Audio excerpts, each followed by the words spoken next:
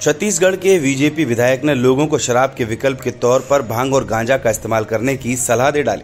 इतना ही नहीं, बीजेपी विधायक ने यह भी दावा किया कि भाँग और गांजे का इस्तेमाल करने वाले लोग रेप, मर्डर और लूट जैसे अपराध नहीं करते। छत्तीसगढ़ के बीजेपी विधायक कृष्णमूर्ति वांदी के बयान पर बवाल मच गया है। कांग्रेस ने बीजेपी पर निशाना साधते हुए पूछा कि कैसे एक जनप्रतिनिधि इस तरह लोगों को नशा करने का सुझाव दे सकता है। मुख्यमंत्री भूपेश बघेल ने कहा कि अगर विधायक चाहते हैं कि देश में गांजा लीगल हो तो उन्हें ये मांग अपनी पार्टी के नेतृत्व वाली केंद्र सरकार के सामने रखनी चाहिए।